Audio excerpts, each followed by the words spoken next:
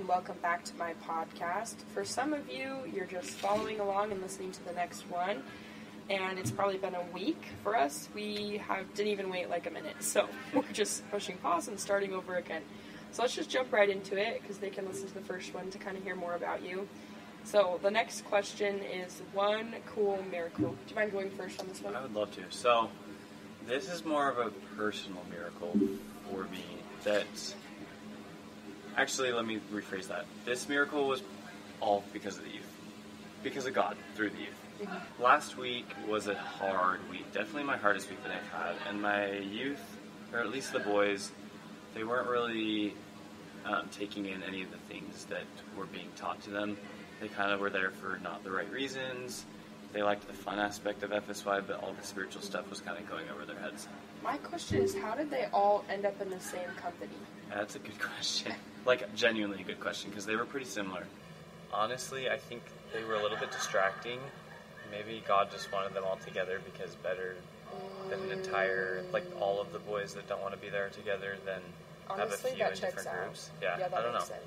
Uh, and it worked out well. Like it, I learned a lot that week, and honestly, I, I ended up loving each of the boys. They're amazing, but it was just hard. Like I spent a lot of time on my knees, a lot of time in tears, just over like how do I help these boys. Basically, Thursday is testimony meeting, and last week on Thursday, none of my boys went up and bore their testimonies. It's devastating. It you was feel like a failure. I- you feel like it's all your fault. Yep. You feel like you haven't done any good. I'm not trying to speak for you. I'm No. speaking in my own experience. Yep. But if you've been a counselor, it's pretty universal that if like your youth don't go up on Thursday, you just kind of feel like uh, trash. Yes. Well, and I was praying and praying and praying. I was like, please get up. And not only that, they were kind of like whispering and messing around, and I kept and having to be like, guys, and- like, yeah. please. It hurt because I was like, this this opportunity is right in front of you, and there have been so many opportunities right in front of you, and you just will not take them. And all you have to do is like, Reach out. just yes, and it's right there, and it just like hurt me so bad. I was like, boys, it's right here. This goes back to what that counselor said, that it's just been mind blowing for me. FSY can either be a good experience Mm-hmm. or a life changing one. And obviously for them, it was a and good it, experience. and it was their choice. And Oh, I, I did everything in my power.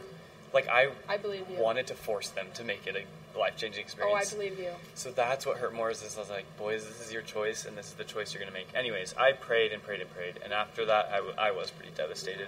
Yeah.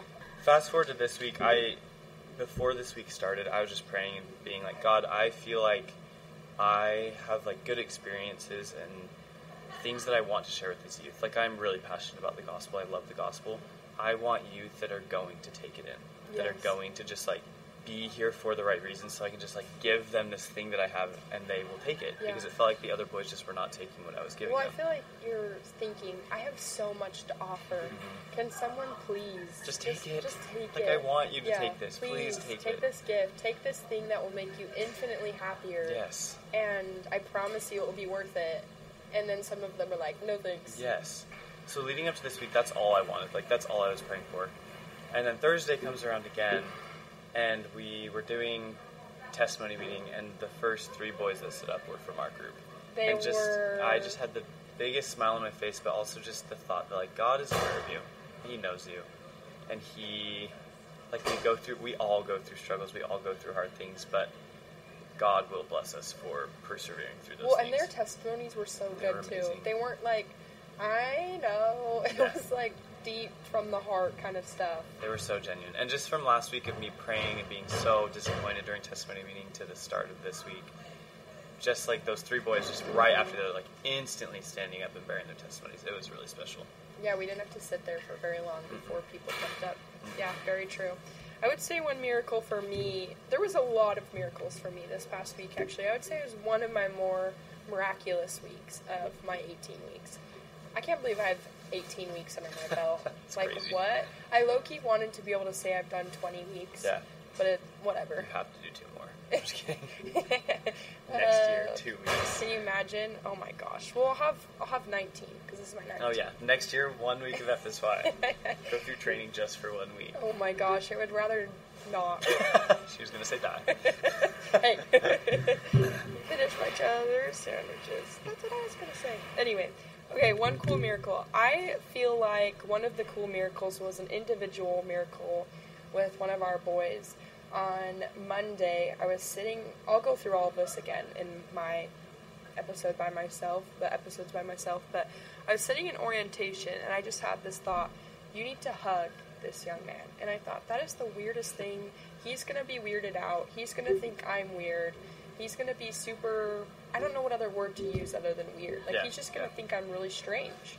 And he's going to think, what the frick am I doing here? Like, that was really weird. And I've had some young men react that way. And Yeah. so I was just preparing. And in my notes, I literally have written down, I'll keep you updated. Like, I don't even know yet. And I even told you about it. I was like, I have this prompting, but it's really weird, and it's gonna be really weird, and so I'm scared. And you were like, tell me, well, actually, I want to wait. And Yeah. I was like, yeah, you probably want to hear the end of the story, not Yeah. like midway through. So I actually have something highly to speak of you about this because when I was trying to work this miracle, or not work this miracle, but follow this personal revelation that I was getting, you just picked up and you led the company in doing things. And I haven't, I've had co's that just stand there and wait for me. And I'm like, no, Yeah. we're wasting time. Get on this.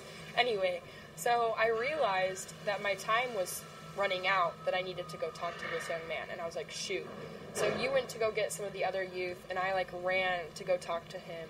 And I sat down next to him and just asked, you know, if I could talk to him. And I told him to think of a question and to write it down.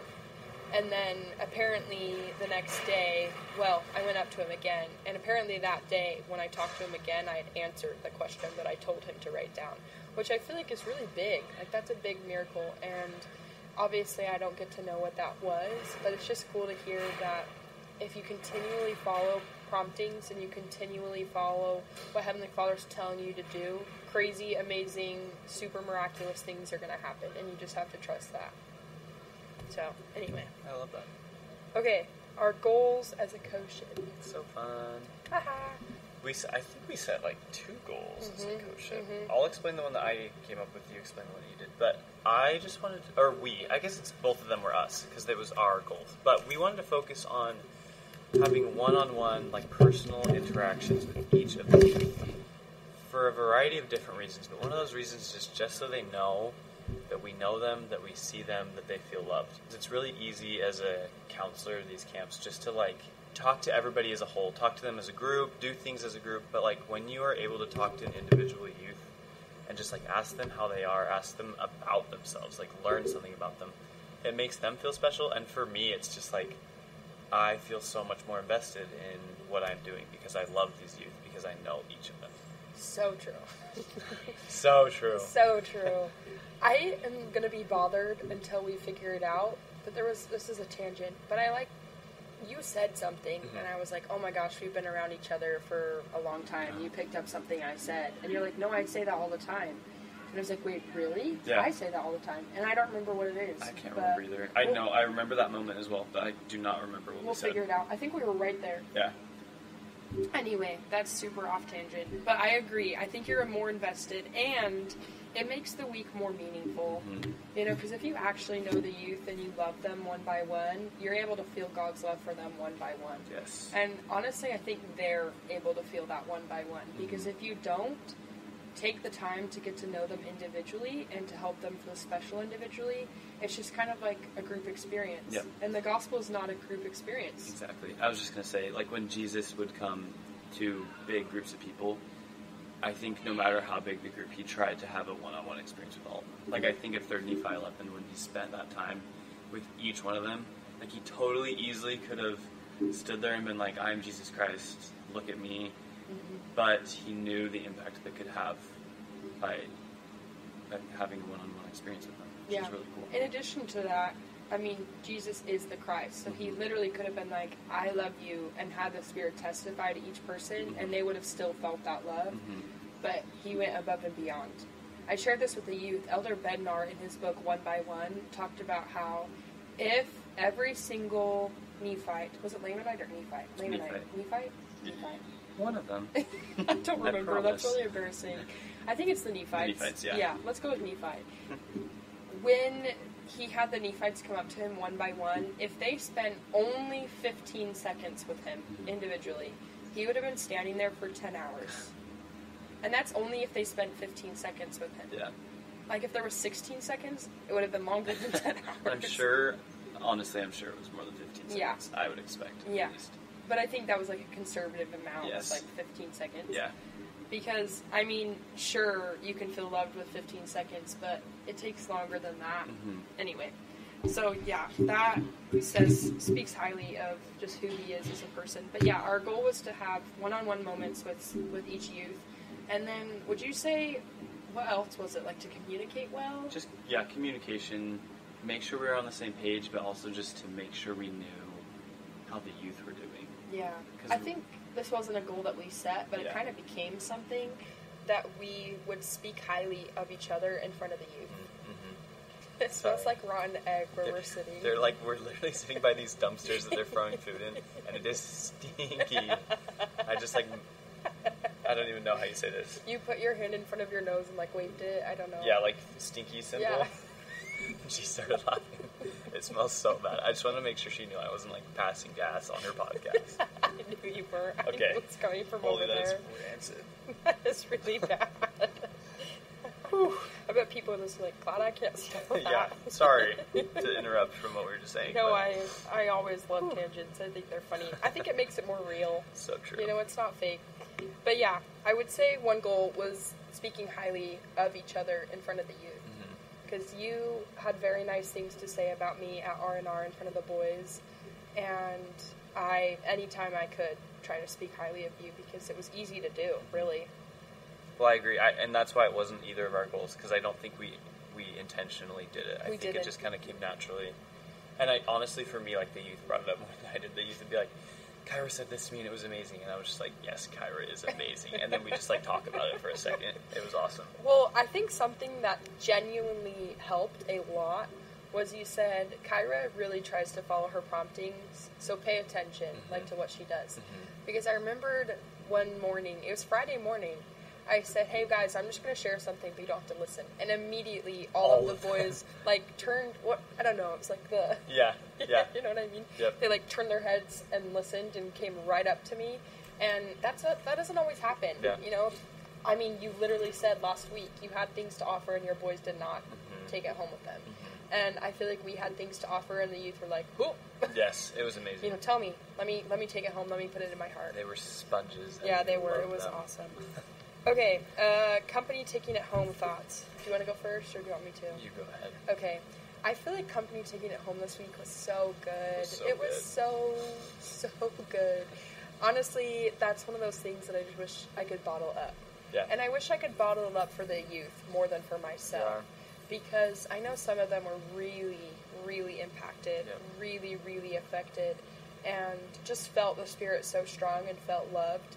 And I know that Heavenly Father loves them past FSY, but chances are they're not going to feel that Mhm. very often past FSY, which just is heartbreaking to me. Yeah. There's only so much you can do as a counselor. There's only so much you can do as their friend and as their mentor.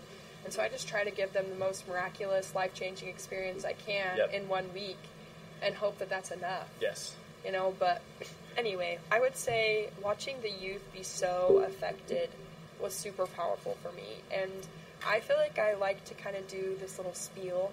It's different every week. It's kind of, there's kind of like the same background, but I say different things every week, just depending on what I feel like my youth need and what I'm feeling prompted to say. And I feel like this week was really cool to say something and to watch the youth be affected by it. Mhm. Does that make sense? 100%. And when we were singing a child's prayer, which was not planned, by the way, Yeah. most of the time I feel like it's last minute or whatever. It wasn't super last minute, but on Thursday during the musical program, I like literally sat down when it was over. It was like the very end of it. And I thought, I should ask Nathan. No, no, no. It was when we were singing the FSY medley. Uh-huh. That's when it was. We were singing the FSY medley, which is after the evening devotional before testimony meeting. and I thought I should ask Nathan if he sings or if he would be willing to sing. Better question. Yeah. So then I texted him and was like, "Hey, what do you think about singing?" And you were like, "Well, you caught me at a good time." And I just jokingly said, "Did I catch you at a good time, oh, or did God?" And you said both. and so anyway, we ended up discussing singing that night over the phone, and we decided on a child's prayer, which is so easy to sing a cappella. You don't have to really prepare for it. You don't have to have your phone out because you know the words. Yeah. And I feel like that's big. So yeah, when we sang that song, first of all, I felt like it sounded so It good. did sound good. It sounded really good. And then also, there were some youth that were literally racking with sobs. And you know it's impacting them when they're doing yeah. that. Yeah. Honestly, I'm genuinely surprised I got through the song. I've had multiple experiences where I'm asked to sing a song. My senior year, actually, at the youth conference, I was asked to sing a song, literally sobbing through the entire song. I couldn't sing it, and the choir director turned around and sang it for me, and I'm just like standing there. Oh, there's a video. It's crazy.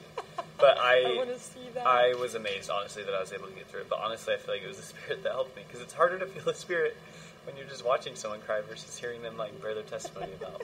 Bearing their testimony Through through, song. song. Yeah. Yeah. okay, that poor fly looks like it can't fly anymore. I mean, look at it. Okay, sorry. There's this fly on our table, and it's just crawling around. I think it can't fly anymore. Don't they only live for like three days? I swear I learned that in like I think kindergarten. that's true. Maybe he's three days old. We'll just let him die naturally. He's coming to the end of his life. Grandpa fly. Okay, sorry. I am. I'm always in favor of like just talking about what's going on I love because it. it's real. Yep. You know, and if I edit this out, it's kind of enjoyable to listen and be like, "Oh my gosh, there was a fly on the table." By the way, the stench has gone away. It has. It really has. Yeah. So I feel like it was really powerful. It was really cool, and I hope, if anything, the youth remember. Yes. And I would say one of my favorite things, oh my gosh, my favorite things, are when I get to hug them and if I feel prompted, whisper something in their Yep. ear. Yep. Like, for example, I hugged one of my girls and I was just thinking about one of the questions she had asked me earlier in the week and how the answer was yes. Mm-hmm. And so I just said out loud, the answer is yes. I don't know, I just said it. Yeah. And she started crying some more, and I was like, okay, you know, you know. And then she told me later that she had a question. She said to me, she said, Kyra, did you say the answer is yes? Yeah. Did you say that to me? And I said, yes, I said that to you. And she's like, oh my gosh. And I said, did you have a question or something? And she's like, yes. Yeah. Which just blows my mind. I think sometimes Heavenly Father will put certain thoughts into our head or guide us in a certain way for something we think is the reason, when really He's just trying to get us to do what He needs us to do. Mm-hmm. Yeah. And so, anyway, but That yeah, That was awesome. I loved hearing that. Yeah, that was- well. something crazy just happened. Yep, that's exactly the call that I got, or a text even maybe that time. So yeah, and then also to one of the young men, I just said, "Stay true, stay true." And then for one of them, I just I said, "You don't understand how much Heavenly Father loves you. You don't understand." Yeah. And he was just, "Thank you." Yeah, you I love it. What was your What were your thoughts? Well, I, th- I love what you were saying earlier, actually, about just like what the difference that it's going to be once they go home. Because we talk about taking it home, and there are very specific things you can take home. But the spirit that you feel at FSY, it's like a very high high. And it's kind of hard to reach that when you're just like sitting by yourself reading your scriptures. And I'm not saying you can't, but it's not.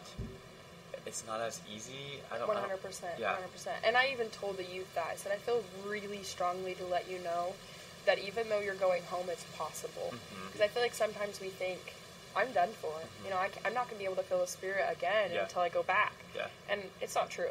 Well, and I think I I also see it as like a if you look at it as a roller coaster, like there's very high peaks, and sometimes we like make that the cutoff of this is where we feel the spirit is like these peaks.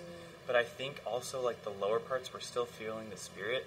We just aren't feeling it as strong. And I hope the youth learn that that like FSY and girls camp and these different experiences, that is not the only times that you're feeling the spirit. That just might be the strongest times you're feeling the spirit. But recognizing the spirit in smaller doses, because that's way it comes way more in those smaller doses.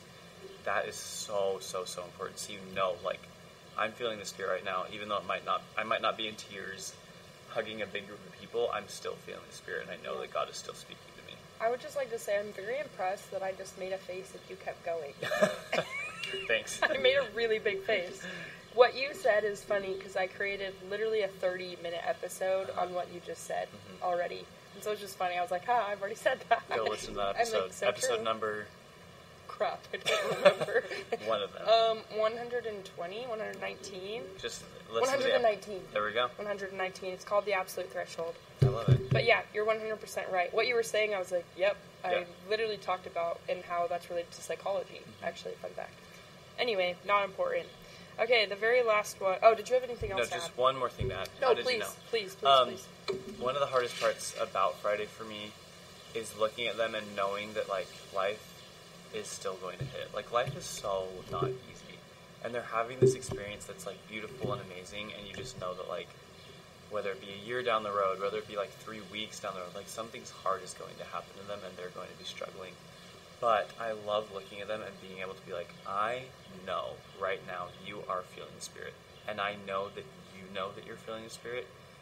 You know, and your feeling of God's love, like this moment right now, you can never, you can't deny it. Like it's so real, and you're having this right now. So that, like, it makes me sad that like in the future, I know you're going to go through hard things, but we have had this moment that you can always look back on forever. And that is just so, so, so special to me because I have had experiences in my life where I'm struggling and I will think back to those moments. Like EFY, FSY moments where I just knew. Like they're just, you just can't explain it. You just feel it and you know that it's true. That's why I literally put handbook and a pen in their hands sometimes. I'm like, are you writing this down? Mm-hmm. Because yeah. you better. yeah. No, I love it. And I give them a very strong invitation, at least for the girls, and I try to give it to the boys too. Please make your handbook worth more than gold to you. Yep. Like if you could get an ounce of gold or your handbook, you would say, I want my handbook Yep. because my spiritual experiences and what I wrote down in there is more valuable to me than material possessions. I love it. You know, and so that's kind of what I say to them. I say, make it worth so much to you. Yeah, and mine still are. I have both of my EFY ones. I go through things and throw them away all the time. I've never thrown those away. I still have them. Well, yeah. Keep them with me. You know, they're very they're very valuable, and honestly, they can contain answers to questions that you have years down the road. 100%. I tell the youth that. Yeah. So, okay, our very last thing is bearing a mini testimony. Oh. Isn't that tender? What do you do? You want to go first? Do you want me to? I, I would love to go. Okay, I'm just gonna imagine I'm telling my youth one more time because. I hope that they, you guys are all you listening are. to this. You are telling Yeah. them. But I know that Jesus is real, and I know that He knows each of us personally and loves us. And I don't understand how He can do that, but I know that He can because I have felt it, and I have watched people's lives change because of the love that He has for them. Not just the youth during FSY. I've seen friends that I've made on my mission. I've seen it in my own life.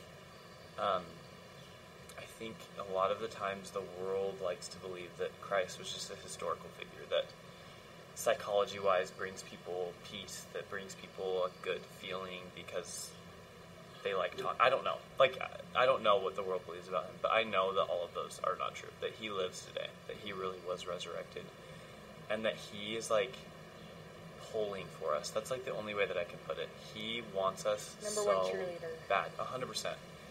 There's a quote that that God is in relentless pursuit of you. It was just given recently, and I Patrick love it. I know that there is not limited space in heaven. I think if God could have all of us, He would, but it's dependent upon the choices that we make on earth. If we want to live with Him again and be comfortable being in His presence. Um, anyways, I could go on and on, but basically, I just love the gospel. I love Jesus Christ. I know that He's real. I know that repentance is real and that we can truly change because of Him. I say that in the name of Jesus Christ. Amen. Amen. I was just thinking, they ask us at FSY to teach the youth that a testimony is centered on Jesus Christ. And testimony really can be about anything. Like, I have a testimony about math, you know, like Yeah. you just know something to be true. Yeah. But a testimony of the gospel of Jesus Christ is focused on Him and His restored gospel. Yeah. And that can mean that you have a testimony about prayer and you share about prayer, or a testimony about personal revelation, or XYZ. Mm-hmm. There's so many different things in the gospel that you can have a testimony of. But I love that you focused on it because I feel like he really is. I mean, not I feel, I know. He really is the center and he really is the most important part. And I think one thing that you said that stood out to me is I don't know how. Mm-hmm. And honestly, embracing that I don't know how is comforting to me. Yeah. I love the song from last year, How Is It Done by Nik Day. Have you heard that mm-hmm. song? so good because it just makes me feel so validated. Like, how is it done? I don't, I don't know. I don't understand, but I know that it is. Yeah. And honestly, at the end of the day, I don't have to understand in order to know that that's true. Yeah. So anyway, my little testimony, you guys get to hear it all the time, but I I'm just so grateful for the gospel of Jesus Christ. I'm grateful for his trust in me. I'm grateful that he sends me promptings. I'm grateful that he trusts me to follow through on them. I'm grateful that Jesus Christ is the master healer because I, without him we'd be done we'd be done for. we'd be done for. And not even just because of like not being saved, but just this aspect of not being able to be healed. I mean, can you imagine if we just didn't have any hope to be healed about the things that we've gone through because I mean, he knew that we were going to have hard times. He knew that there would be things that would tear our souls apart. I, I feel like space is needed right after that sentence. That there would be things in our life that would tear us apart. And I don't think everyone goes through experiences that tear us apart. I think people go through hard things, but I don't think everyone goes through things that tear you apart. Um, just for example, someone in the Young Women devotional, she was sharing about her daughter in law who, I mean, all of the abuse that you can imagine she experienced in her childhood.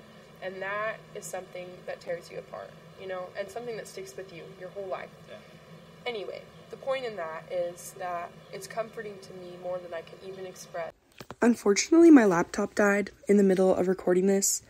It is a blessing that it happened at the 26 minute mark. So I only lost about four minutes of audio, but just to wrap up with my testimony, it's comforting to me to know that there's nothing that Jesus Christ cannot heal, that there is no earthly sorrow that heaven cannot heal. And I know that Jesus Christ can't wait to heal us and to mend our broken hearts. Nathan and I finished by just talking about how much we loved our youth, how much we love our youth, and how we will miss them. So, anyway, I don't have the outro for this part, but I am so grateful for Nathan and for everything that he did. He's just absolutely amazing, and I can't speak highly enough about him. So, anyway, don't forget to embrace imperfection, find meaning, satisfaction, and joy from the journey. I'm Kyra. Nathan's not here, and this is Imperfectly Broken, the podcast.